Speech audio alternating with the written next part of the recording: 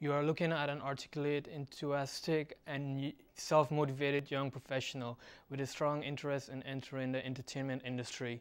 Well, let me introduce myself. My name is Alvin Samoru. I was born in a rural part of South America, which is filled with poverty. Numerous accounts of my unpleasant childhood experience has remained fresh and vivid in my memory, and I have used art steadily as a portal to express the ways in which I felt.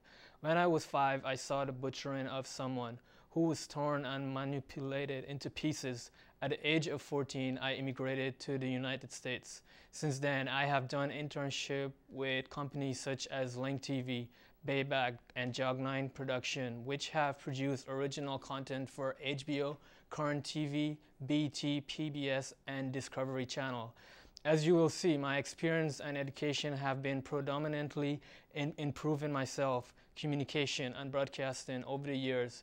If you can experience an adaptable professional who offers sound judgment and decision-making skills, I hope you will contact me. I can assure that I would rapidly become an asset to your organization.